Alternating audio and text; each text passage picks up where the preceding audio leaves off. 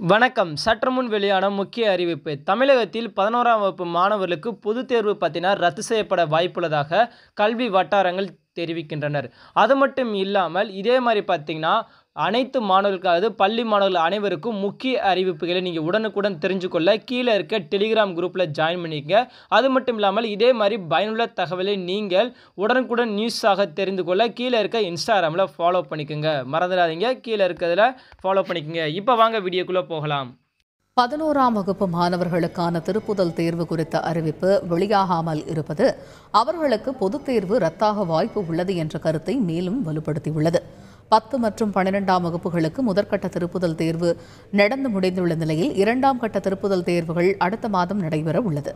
ஆனால் பதினொன்றாம் வகுப்பு மாணவர்களுக்கான திருப்புதல் தேர்வு குறித்து எவ்வித அறிவிப்பும் வெளியிடப்படவில்லை. இதற்கான ஆயத்த பணிகளும் கல்வித்துறை சார்பாக நடைபெறவில்லை என்று தெரிகிறது.